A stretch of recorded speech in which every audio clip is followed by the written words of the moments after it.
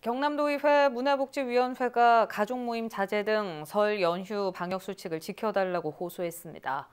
문화복지위원회는 9일 담화문을 발표하고 가족이라도 거주지가 다르다면 5인 이상 모일 수 없다며 이번 설은 마음으로 정을 나눠달라고 요청했습니다. 또 가급적 이동은 자제하고 마스크 착용과 손 씻기, 사회적 거리두기 등 방역 수칙을 준수해 위기를 극복해 나가자고 강조했습니다. 이어 위원회는 도민 백신 접종은 물론 코로나19 사태 해결에 지원을 아끼지 않겠다고 덧붙였습니다.